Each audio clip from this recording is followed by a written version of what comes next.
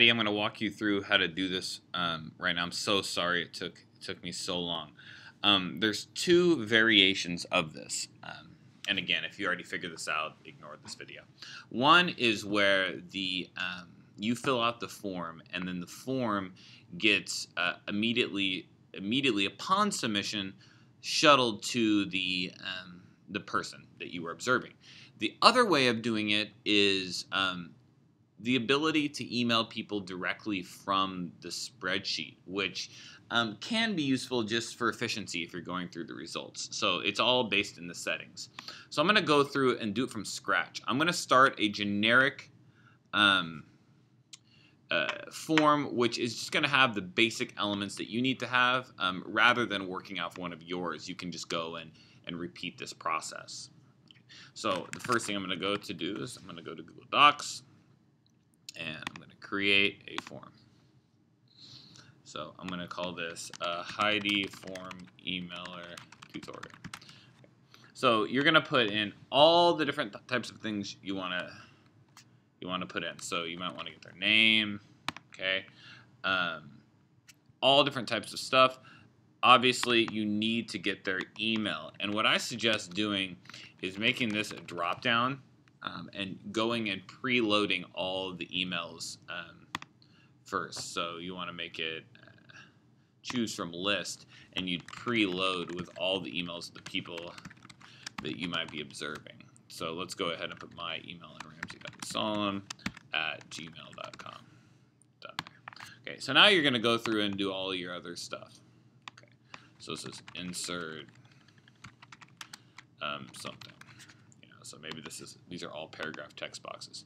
Who knows? This could be anything you want. But the basic elements I need is I need the name of the person, first and last. You need their email for sure. And you definitely obviously are going to have some things you put scalar quantities, paragraph text, whatever. Um, sometimes I like to go up here and change the edit confirmation, but you don't have to do that. So now I'm going to go back to my Google Docs and I'm going to find this form that I made. It's going to be down here somewhere. I call, where are you? This always happens to me sometimes. Um, what did I call it? I need to I saved it. Heidi form emailer. I misspelled her name. Maybe it's not liking me because I did that.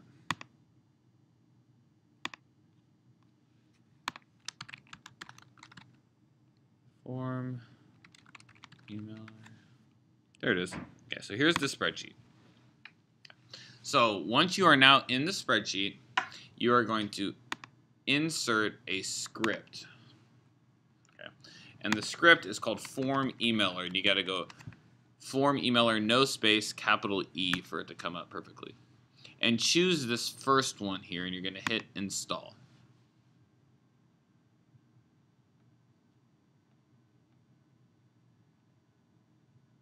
And you just wait. Okay, now it says installed. You click authorize, click close, okay? And then you close out of this. Okay. Now notice the top here, there's something here that says Form Emailer. So you click on that and you click Install again.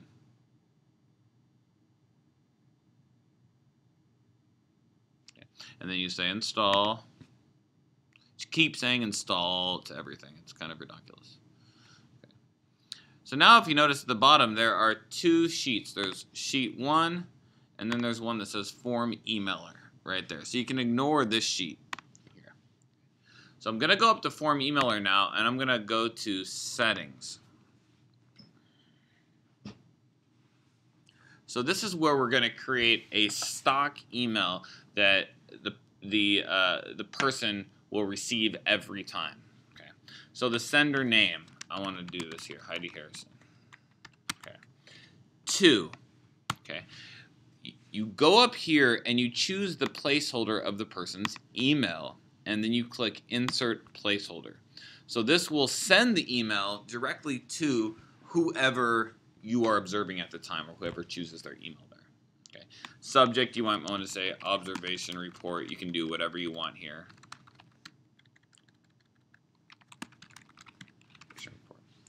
Get rid of this HTML body here. And now we're going to put um, anything we want in here. So I'm going to say hi, and I'm going to choose the name.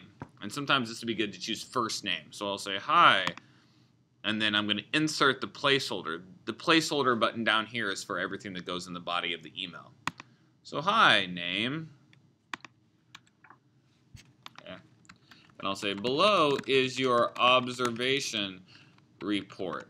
Okay. And then this is where I'm going to choose, in this case, it was insert something, but I can go through and put placeholders for all of the columns in the spreadsheet that represent the body of the observation. In this case, it was just this one column something, and I'll say, uh, thanks, Heidi. So what this will do is the sender will get an email from Heidi Harrison. The person that will get it is the person who um, whose email is whatever email you chose. It's going to say observation report. Okay. Um, it's going to say hi, whoever's name filled out that column. Um, and then whatever is in the observation report is going to go there. I press save. Now you want them to get this email immediately after you press submit. So I'm going to go up here to tools and I'm going to go to script manager. And I'm not going to do that. I'm going to go here to Tools. I'm going to go Script Editor.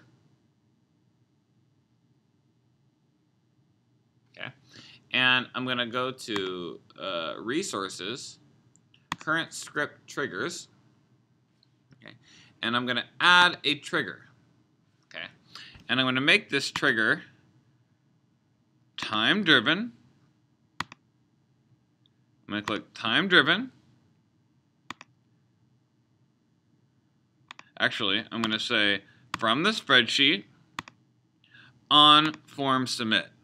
Okay, so this means that the person will receive it once they submitted the form. Okay, so let's go through and let's test it out. So I'm going to go to this live form here. So I'm observing somebody, and this person's name is Ramsey and I choose their email. There it is. And it's like, Ramsey, you are a crappy teacher. Get with it, dude. So I hit submit. Okay. So I'm going to go now to my email and see if we if I got that email. If I received that email. So hopefully I did.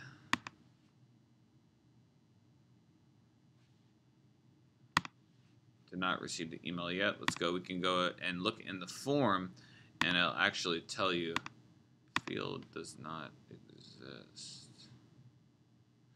So I think I made a mistake here. Let's go through and let's go through and see. This is good for you to see.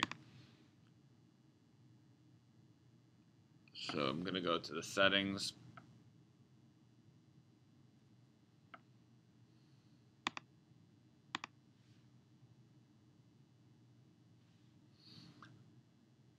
So I'm going to take this out again and I'm going to insert it in again. Email. Okay, I think I messed with this pound sign earlier and I think that might have did it. So let's go through and let's see if that did the trick. One sec, I'm recording a screencast here for Heidi Hurst. Oh, come on, come on. So I put your name in Heidi, and then I say, Ramsey, you are a crappy teacher, blah, blah, blah, blah, blah, blah, blah. So I hit submit. Okay, so now let's go see if that did it. So now I go, and there it is. So I received this email, observation report. It says, hi, Heidi. Now this should have said, hi, Ramsey. I should have put in, uh, oh, it says, what? Was that the first name I put in? Let's do this again real quick. Really quick. Form. Format. Uh, go to left form. Okay. Ramsey. Hi, Ramsey. And then blah, blah, blah, blah, blah. Submit. So. There it is. Hi, Ramsey. Below is your observation report. Blah, blah, blah, blah, blah. So this could be anything you want it to be. If you had 10 columns with scalar quantities and Likert scales and all kinds of stuff, you would just keep inserting those placeholders. Um, so that's how you do it. Uh, give me a call if you have any questions.